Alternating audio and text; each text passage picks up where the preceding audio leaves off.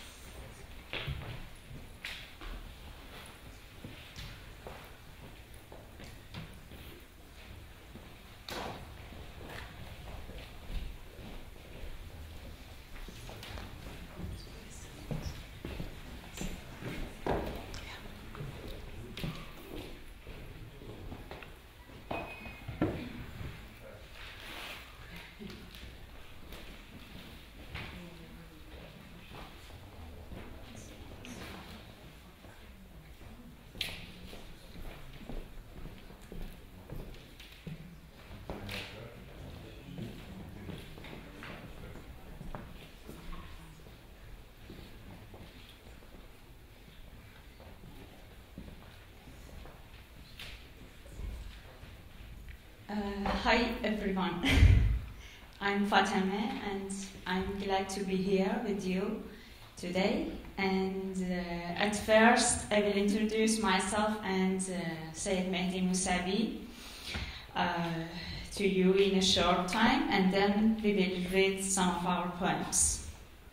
And uh, sorry for my broken English.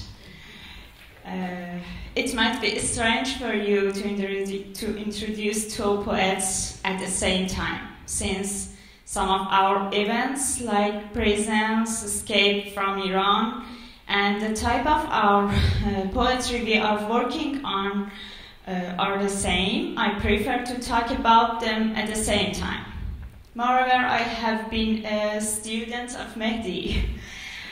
uh, I've made this workshop for a long time, and my artistic life has linked to him.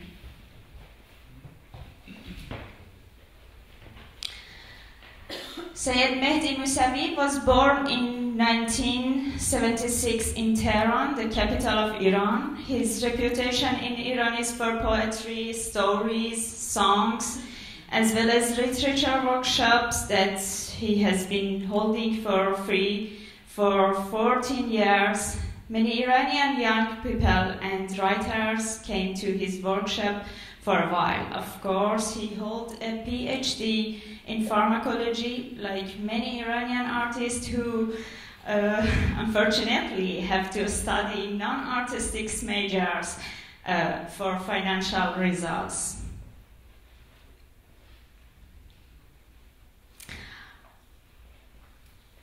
Uh, Mehdi has published 13 books, including 11 poetry collections, a novel, and a book on Persian poetry technique. Most of these books were rounded up from the Iranian market and their, uh, their sale in Iran is uh, prohibited by government. Most of his books were published underground in Iran uh, and uh, are being sold by street vendors illegally. In Iran, in order to publish a book, it should be submitted to a Ministry of Culture before publishing.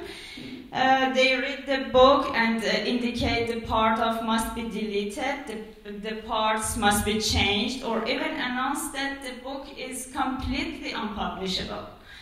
Uh, several of Mehdi Mousavi's books did not get permission to publish by the Ministry of Cultures and have never been published.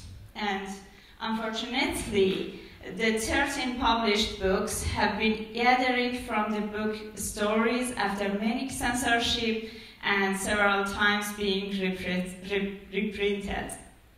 However, his latest novel, these pictures of his books, and uh, his latest novel has been published in abroad, but in Iran, the electronic version and its illegal copies are being printed among the people. Uh, one of the reasons for the reputation of Mehdi Mousavi is his poems sung by various singers. Many people who are not crazy about reading book, re about books are familiar with their lyrics while listening to this music. However, most of this music uh, in Iran are underground and uh, accessible through the internet. The label of Mehdi Mousavi in Iran is the father of postmodern ghazal. Ghazal is a traditional Persian poetry template, including rules like, uh, like rhyme and read. Uh, it's uh, about our workshop in Iran. Uh, that's I said, and uh, I will come back maybe.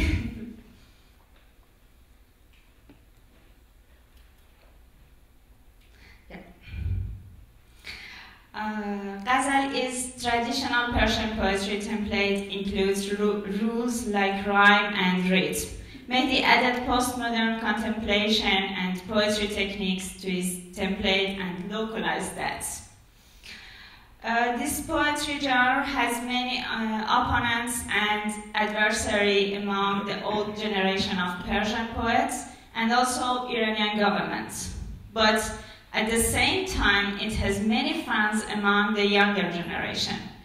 The poet's book um, of the poet's book of this genre are mostly sold in several editions. This is traditional uh, template of Ghazal. This poetry genre did not separate the traditional of Persian poetry while talking about the updates, problems, and pains of Iranian society in new way. This can be the reason of welcome this poetry genre. Now, many poets in Iran write postmodern ghazal. Even sub, uh, subcultures and splits have been created for this. For this. However, some critics do not like its linguistics linguisticism and taboo breaking uh, labelist point of view of the approach of this genre to the contemporary Iranian language, and they consider them as the weaknesses of this poetry style. One of the problems of postmodern ghazal is the lack, the lack of uh, transference of the beauties and uh, sorry, I cannot do two words at the same time.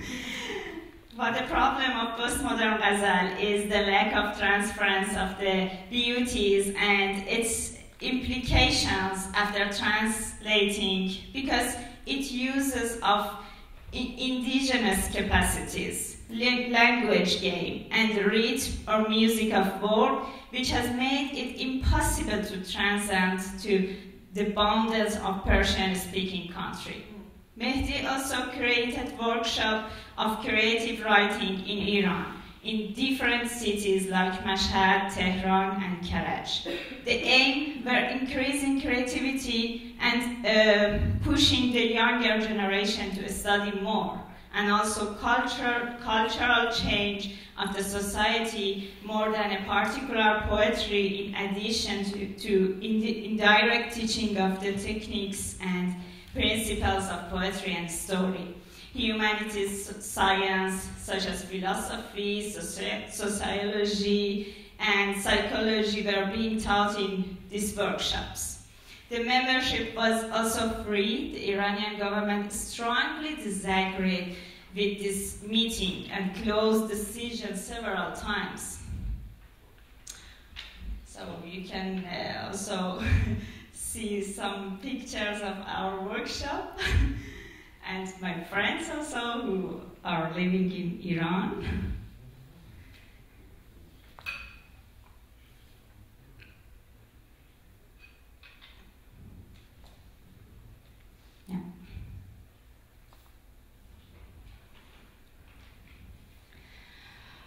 Keep this intro in your mind for a while. I want to introduce myself and I want to tell you a little about myself.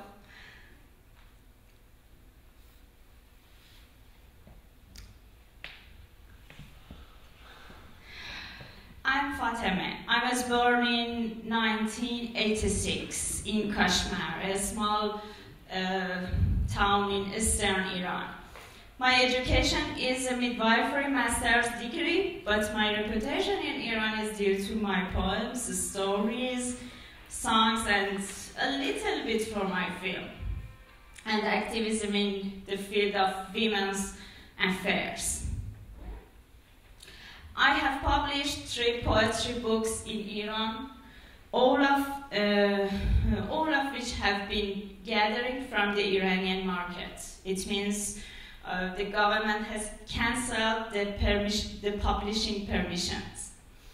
After, uh, after leaving, I also published a collection of short story and a polygenre book of my memoirs from solitary confinement. I have made some documentary film in Thailand, Sweden, Germany, and uh, Norway. The mm, it's my books. And uh, the latest is the movie Unpublishable, uh, which deals with book censorship in Iran from the beginning to the present. Before 2004, I used to be more or less writing poems and stories, such as talking on radio and painting, but after getting to college and getting familiar with Mehdi and uh, his workshop, as I focused on literature. From 2007 to 2009, I was the editor of the specialized postmodern Ghazal magazine. It was just tomorrow. Uh, I'm not sure about the translation of the name, but I tried. uh, sorry. Unfortunately, in 2009, it was com uh, confiscated at the same time as the protest of the Iranian people called the Green Movement. That uh, said about that. Although the magazine only dealt with literature and cultural activism, unfortunately. A number of my poems and the lyrics have also been performed and sung by variation singers due to the uh, severe censorship of the book in Iran, as well as the decrease in the level, level of reading of the people. The singing the lyrics is a good way to reaching the voice of poets to the people. Now, with this long introduction, the most important question is uh, what do we do here in Norway? From the beginning of our literature activity, we always have been under a lot of pressure. The Iranian government has problem with any kind of private workshop and free access to information. Iranian people are fascinated by the by the art and literature. So the hundreds of people uh, gather in a hall for a weekly poetry, uh, weekly poetry session, just, just a simple poetry session. The Iranian government is afraid of the influence of literature. Along with this, we had a lot of fun among the young, younger generation and its worried dictatorship regime. Because they oppose, opposes any kind of gathering and the creation of independent NGOs and groups. Our literature workshop were rounded up many times and we were going to have it in our homes secretly. While we just spoke about literature criticism and philosophy and sociology. I think it's funny for you. Our books were not permitted to publish, and those were published with, with, uh, with censorship would round it up after a while. Our blogs and websites were filtered in Iran. The government poli- published our private photos on the national television, radio, websites, and governmental news agencies. And they were trying to destroy us with names and labels such as prostitute, gay, devilish, spy of foreigners, vulgar, and insulting saints. Since most people in Iran hate government, so this made us more popular.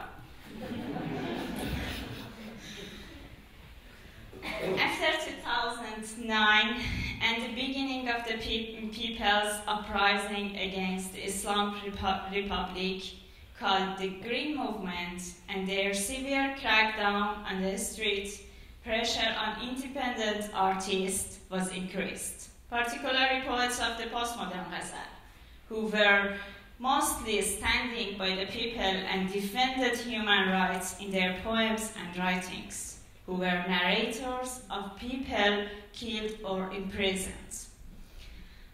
This pressure, this pressure ultimately led to our arrest in 2010 and began a long interrogation after they attacked our homes and arrested us and seized all our, all our instruments and writings. But given that there was no much evidence against us, these interrogations ended with our commitment as well as our denial of social media and the closure of our literature workshop. Even after this happening, the pressure of government media and the repeated summonses by the government and making many restrictions for us, we did not intend to leave Iran. Because we needed to breathe in the Persian language, we also had to, had to touch the pain and problems of our country closely. Then we could rep- represent that in our works.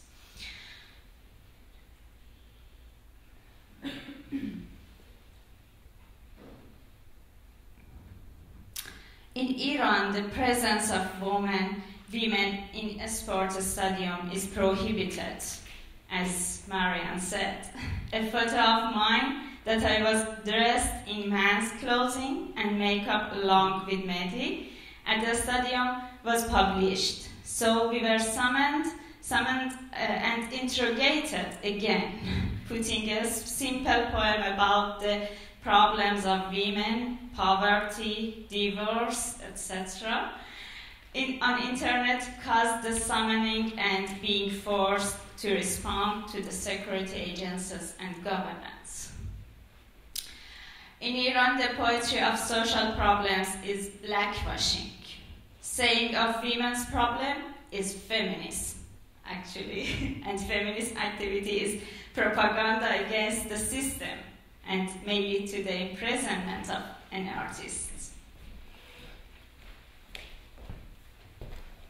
At the same time, a singer called Shahin Najafi, who had previously performed a number of uh, a number of poetry of mine and Mehdi, sang a song called Naghi, which in the view of government and religious people inside Iran was an insult to one of Shia Imam.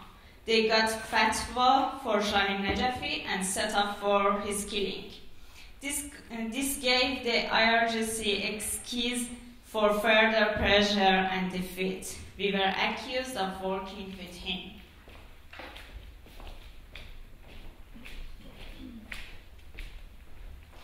In late 2013, the IRG force attacked our home. They seized all of our stuff and transferred us to a solitary confinement blindfolded. We passed 40 days of interrogations and some kinds of physical and mental torture since that night. They tried to screw down in our writing, our emails, our photo, our diaries to find something against us. When they did not find something, they tried to persuade us mandatory to write and admit to their words by persecution. After 40 days, by international pressure and the support of artists from Iran, and uh, other countries. We were paid for free on our on our bulk uh, until we issued a court sentence. The court took about two years. During this time, we were barred from attending literature meeting or going to cultural place. The publisher who was willing to publish the book of Mehdi was murdered suspiciously. Our interrogators rang and threatened us to murder. In court, the judge, instead of hearing our de- defamation, was, reprimand- was reprimanded. Even at the last court session, the judge read the charge against us while they have not listened to our defense and our law- lawyers. However, a few months later, I was sentenced to 11 and a half years prison and 99 lashes, and Mehdi to 9 years imprisonment and 99 lashes. This sentence confirmed in the appeal court later. Our main charge was the text of our lyrics and the defense of freedom, the rights of minorities, minorities, raising social, uh, society's problem, expressing taboos, defending women's rights, and criticizing the traditional of community. The other reasons for this sentence were holding literary workshops, collaborating with underground singers, communicating with human rights organizations, and reading poetry in abroad. The lashes were for shaking hands with the opposite sex pe- people person. That is quite common in, among the people in Iran. They also eliminated our, all our poems, stories, films, and uh, ma- manuscripts forever, so we have no copies of many of them. After issuance of the verdict, after issuance of the verdict, its length and uh, not having life security even after prison is finished, we decided to leave Iran. Due to being famous and also our homes and our phones being uh, controlled by the government, we made up our faces and ran away illegally. We had a lot of problems on the way, but now we have no time to tell. However, we arrived to Kurdistan, Iraq. We were hiding for a while there, uh, but due to influence of Iranian corps in Iraq, we again had to flee. We went to Turkey with supports from Kurdish smugglers. Eventually, we arrived in Turkey. And ourselves to, uh, we arrived in Turkey and uh, introduced ourselves to, to the UNHCR in Turkey due to the proximity proximity to Iran and uh, threatened uh, and the threats we had to change our city in and uh, in the end the help of the ICORN we were issued a temporary passport and visa and we were transferred to Norway called Norway this this was a summary of our life. However, the real story of our life actually happens in details. Description of suffering and hopes. Description of the fight and fail and start again. Living, living in Norway is full of security and tranquility. But the story of our life in Iran until we arrived here is a trailing movie which has many up and down. I think it would be an incredible and fascinating story, but it is it's important that we are with you today and we've come to read our poetry. That's all. Thank you.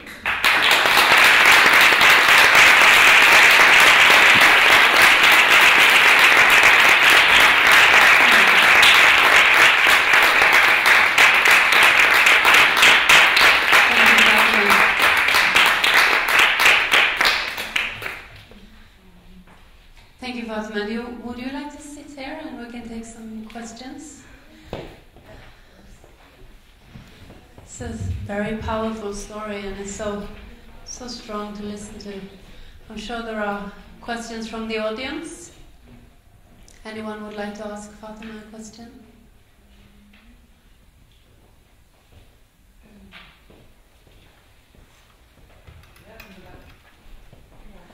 It's difficult to see from here. Yes. Um, thank you for your presentation. Um, and since nobody else was asking a question, I, I would just like to hear your uh, reflections on future. Are you are you with us forever? Are you going to learn Norwegian? Um, and things like that. And also, I have a desire. You know, the the the, uh, the walls of language are very high. You know, they are absolute. There isn't. Uh, you can absolutely not understand the language you don't understand. And there is a book by the Iranian woman who won the Nobel Prize. What's she called? Shirin Ebadi. Yes. Her book is translated to Norwegian. And I read it in Norwegian, of course. And uh, it was like a revelation. It was like putting your nose into another world, you know, by, by the details of how she described colors and smells. You know, it was like um, seeing a culture that we absolutely do not have here in Europe. And, and just through the simple, this was a political book she wrote, but just through the way, her description of the color of a brown jersey, um, opened up a kind of um, um, view, small view into another culture. And so that was my desire, you know, if, if that could be more open to us. Uh, yeah. Yeah. Uh, now uh, we are here as a guest writer and also refugee. So we are going to uh, to a school for learning Norwegian, and yeah, I'm trying to learn, and uh, yeah, it's so difficult because the cultures is totally different. Uh, at the first we arrived in Norway, we shocked, honestly, and all places full of snow, freezing weather, and uh, everything was closed and cold, but we were in safety. Uh, you know, we feels that because uh, after after we leaving um, after we left in we left Iran and came to Turkey, uh, we didn't feel this feeling, this safety, because the Turkey was was not, yeah. Uh, but Norway, yeah. but yes, it's, for, very difficult for us to write even, and uh, we try to breathe in Farsi, breathe in Persian, breathe in uh, our country, even even even very even we are so far from our country, but we try to be there. I, I don't know, can I uh, transfer my idea, but yeah. yeah, I think we understand what you mean. Any other questions?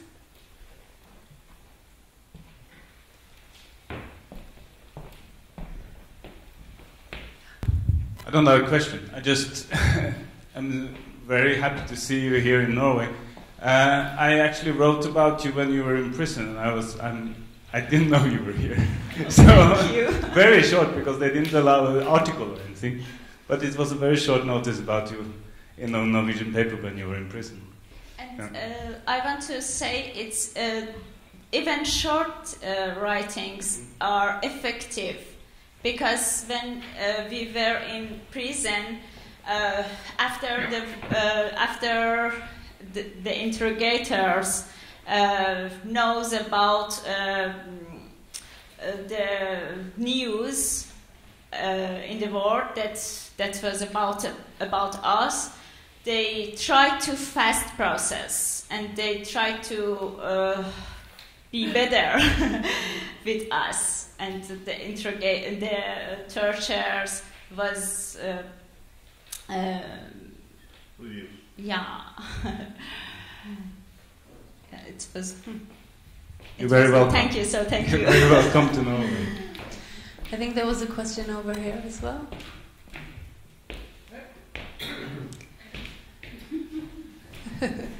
Yeah. Thank you very much for your presentation. I wonder, I'm concerned about, you know, also this language and identity and emotions, and to keep alive uh, those things, because I know that many immigrants, they forget many things that maybe should be remembered and shared to others. And I wonder, do you have any milieu, you Iranian poets, uh, poets to, to share experiences and to encourage each other, you know, and also ways to share it to a Norwegian audience? Uh, actually, I wrote, uh, as I said, I wrote a book uh, about. Uh, it's it's like a diary, but not a real diary. It's a polygeneric books about my memories uh, in in prison when when I was in prison in conf- confinement solitary. Uh, and uh, I'm trying to find a translator to translate that to Norwegian or maybe English. But uh, yeah, I'm, and I, I, also tried to make a film about smugglers and uh, people who uh, who had to uh, leave Iran illegally by on on on broad on uh, actually, it was. I cannot find the word, but uh, but it was it, it uh, was not done. Yeah, and uh, we want to. We, we we like to share our uh, experiences and uh, like like here we can share these stories to other activism. Maybe they can do something more. but uh, unfortunately we didn't find uh, translators until now to translate our works to Norwegian or English. Hmm. Uh, so I have a question as well. You mentioned um, uh, that you were linked to the Green Movement, the movement that uh, started after the um, election in 2009. And I I see you have the green uh, ribbon around your, your wrist. Could, could you say something about how, um, how the movement is working today and your link to the movement today? Uh, actually, our leaders uh, uh, that uh, they they are arrested, home arrested, in And house arrest. house yeah. arrested, and uh, we we had hope to the new president uh, can do something for release them, but he couldn't. Actually, he I, I think he don't he, he doesn't want to do anything about release them, Mm. and they are sick and they are they have they have not good situation there, and uh, about uh, green movement, we have just journalists journalism that uh, write about them, uh, but illegally and uh, not I mean not illegally underground. It's uh, they prohibited to write anything about this movement. If they write, uh, they should go to prison. And uh, we have these signs uh, just just to remind remind us, remind ourselves, just just to not forget this happened, this happening. But uh, I think it doesn't work. Thank you. Uh, and we will hear from your um, uh, from your poetry later today as well. So uh, please give a hand to Fatima. Thank you. And sorry for my. Thank you.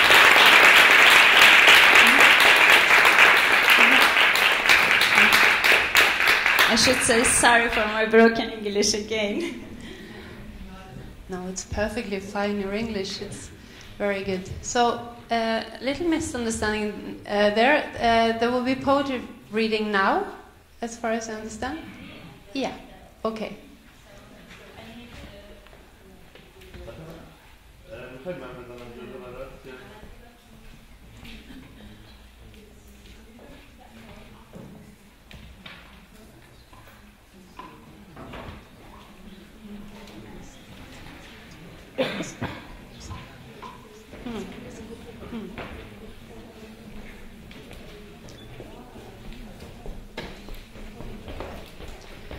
Okay, so we will have some uh, uh, poems uh, read by uh, Mehdi Mousavi, and uh, while the poems are being read in, in Persian, we will have the English English translation shown, so that we can follow um, the reading.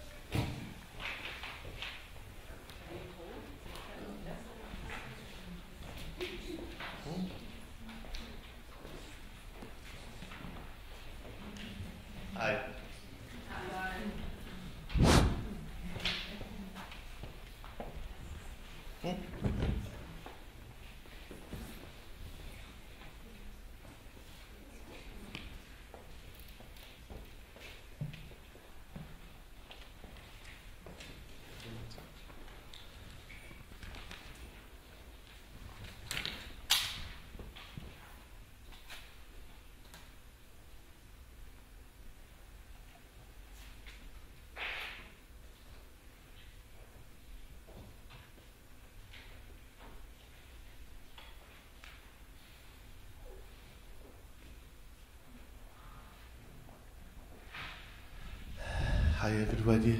Uh, I beginning with uh, two short poems. اجازه هست که اسم تو را صدا بزنم اجازه هست که اسم تو را صدا بزنم به عشق قبلی یک مرد پشت پا بزنم اجازه هست که عاشق شوم که روحم را میان دست عرق کرده تو تا بزنم. دوباره بچه شوم بی بهانه گریه کنم.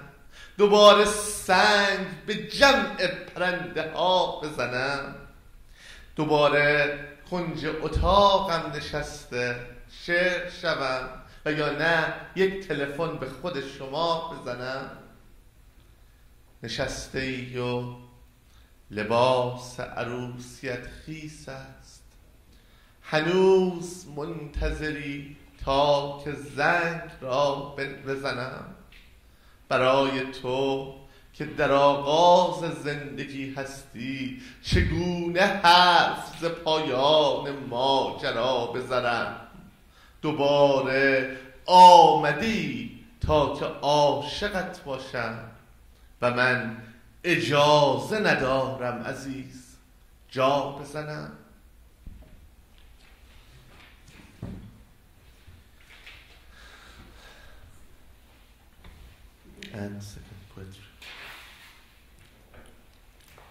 سه کارگر وسط شعر راه افتادند.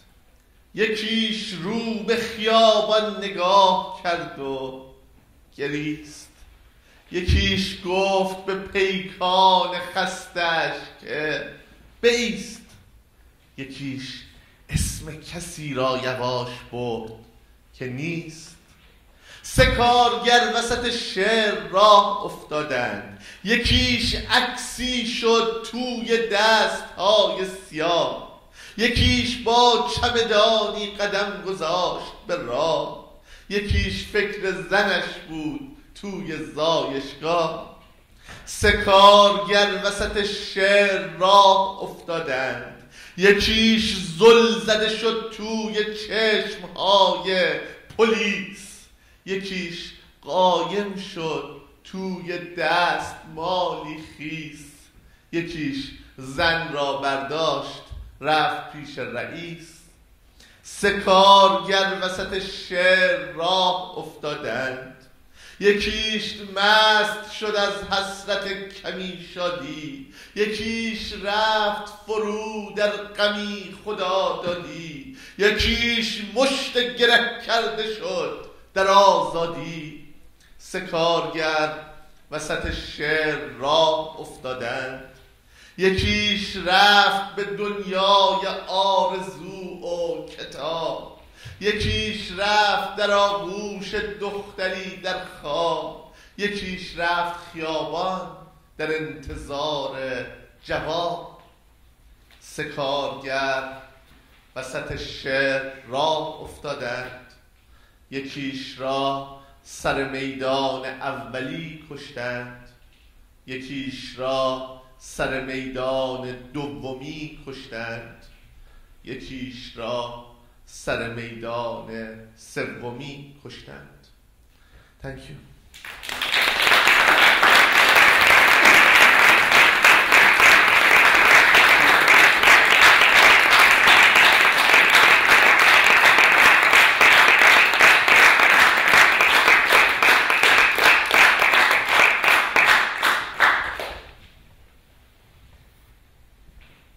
غیر یک سقف و چند بچه خوب هیچی از خدا نخواسته ای.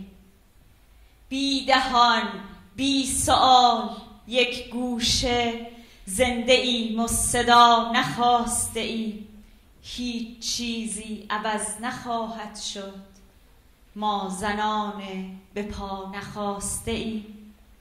سالها می شود که یک دل سیر گفتگو کرده ایم. با واژن سالها می شود هویتمان. چرخ خورده است در, سر دا در تن دامن. سالها توی آشپزخانه آب کوبیده ایم در هاون. دلمان مین مخفی در خاک. تنمان صحنه است از جنگ خون شنیدیم از صدای نوار گریه کردیم زیر آهنگ. هیچ کس از خودش نپرسیده چرا یک عمره که دلم تنگ. سقف نم می کشد یواش یواش. بچه ها می روند از خانه. زندگی می کنیم در تن خود مثل در سرزمین بیگانه. ما زنان نشسته در هیچی خیره به مرگ ناامیدانه.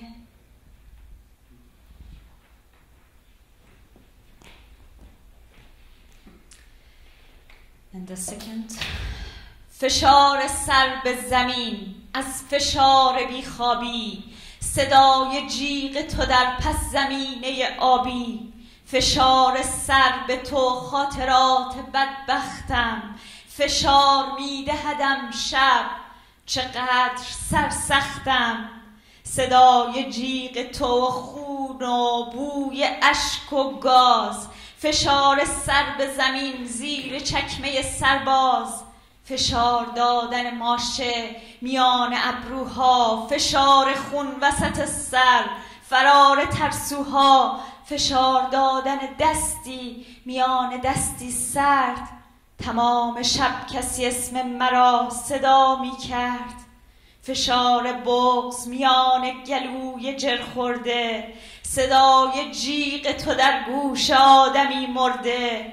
فشار زندگی و زخم ها و ردهایش فشار قبر به تنهای جسدهایش فشار مشت به دیوار و خوردن فریاد صدای جیغ تو در زوزه های وحشی باد فشار سر به زمین در فشار رگ به اثر فشار دکمه برگشت زندگی به عقب. به باز کردن یک پنجره به سمت نور دوباره پا شدن دست جمعی از ته گور فشار دادن دستی میان دستی داغ صدای خنده ما توی خانه توی اتاق صدای آرامش حرکت منظم نبز به روز خوبتری توی پس زمینه سبز Thank you.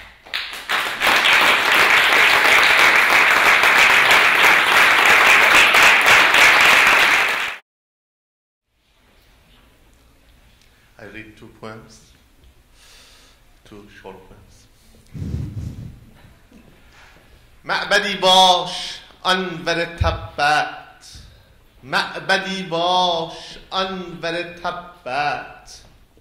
تا در این شعر زائرت باشم. برکی باش آخر دنیا تا که مرغ مهاجرت باشم. می‌توانم که تا ته دنیا می‌توانم تمام این شبها مست باشم ته هوا پیمان. همیشه مسافرت باشم یک قناری بغض کرده شوم زیر شلاق هات برده شوم. می‌توانم به خاطرت بروم می‌توانم به خاطرت باشم. توی این داستان که بد بشوی گریه و حبس تا ابد بشوی تا که از مرز و کوه رد بشوی. بلد پشت قاطرت باشم تا که دیوی به منزلت آمد تا که دشمن مقابلت آمد. هر کجا ترس در دلت آمد با تو در حال مشورت باشم. هدف چند اتهام شوی؟ لذتی تا ابد حرام شوی؟ یک خیابان ناتمام شوی؟ همه عمر آخرت باشم؟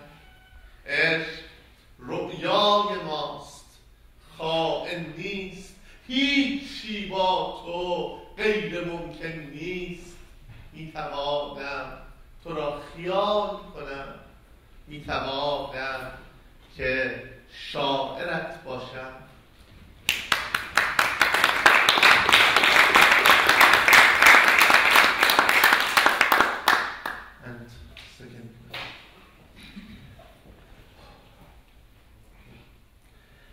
یا اره باش بر تن سختم یا تیغ نصف داخل تختم یا سم بریز پای درختم.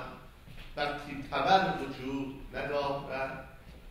وقتی در انتهای زمینی وقتی که جز دروغ نبینی وقتی که در قفس بنشینی انگار هر وجود ندارد.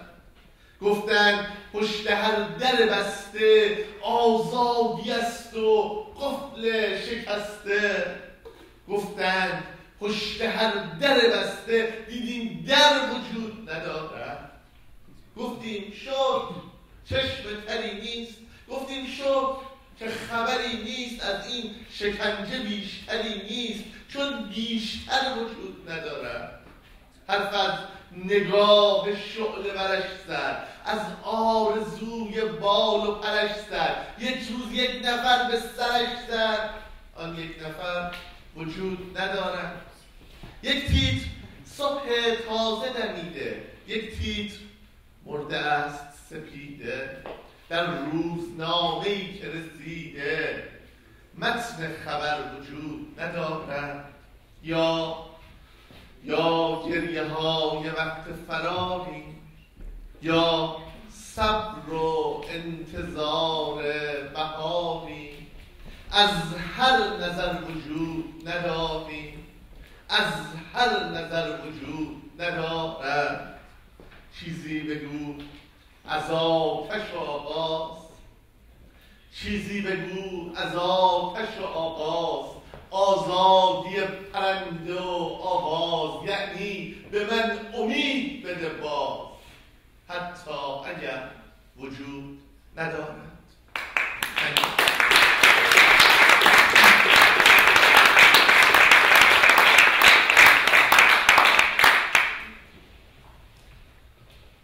جیغ بی صدای کسی توی خواب ها من سال هاست قاطی این استراب ها چیزی نگو نخواه نپرس از جواب ها نگذار دستشان برسد به کتاب ها دارند می‌برند مرا. آه فاطمه این سایه های رد شده از کوچه کیستند؟ دنبال اسم کوچک کی توی لیستند لطفا بگو که منتظر من نیستند اینها که محرم تو این خانه نیستند دارند می‌برند مرا. آه فاطمه از لابلای چادر مادر کت پدر. از عکس های بچگیم چشم های تر از خاطرات در بغلت گیج. قوت ور هی می‌کشند پیرهنم را به سمت در. دارند می‌برند مرا. آه فاطمه. نگذار حس کنند تو ترس توت را. نگذار بشنوند صدایا که بوت را. نگذار بغز پر کند از غم گلوت را. از من نخواه خواب نبینم سقوط را. دارند می‌برند مرا. آه فاطمه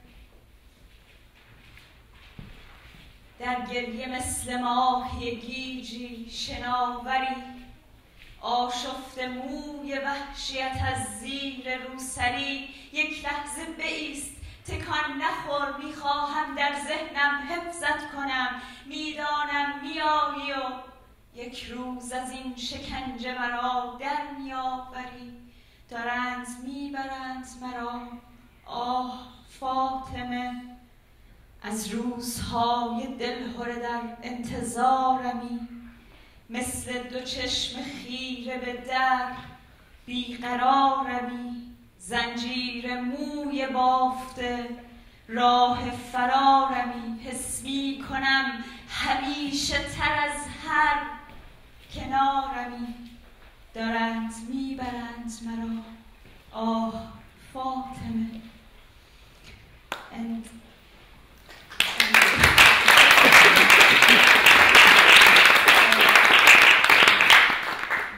prefer to show a video clip uh, instead of reading another poem. That uh, its uh, poem is mine, and uh, the singer is uh, Shahin Najafi, who got fatwa, and uh, I talked about him and.